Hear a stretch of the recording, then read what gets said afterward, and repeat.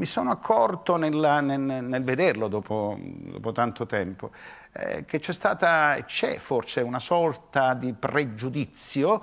Eh, Stavo per chiedergli. Tant'è vero, no, no, c'è, c'è, c'è, anche perché poi eh, questo fa parte di un'Italia divisa, gruppi, tribù, massoneria e quant'altro.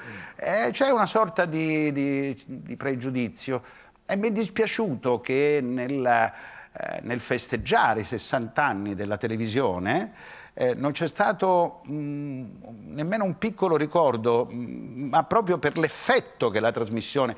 C'erano ascolti da 14 milioni, 13 milioni, non era una cosetta da poco, un impatto. Evidentemente la gente aveva voglia di ridere, ma di sapere anche, che non si era mai detto, cos'era la politica in quegli anni vista attraverso una vignetta televisiva, un, un graffio... Sì, in fondo c'era stato prima, c'era stato solo uno schese che faceva... Era un'altra cosa, era un'altra cosa, la trasmissione era tutta in diretta per due ore e mezza, eh, provata, scritta, non improvvisata, eh, se non qualche volta quando accadeva qualcosa con il pubblico, naturalmente sì.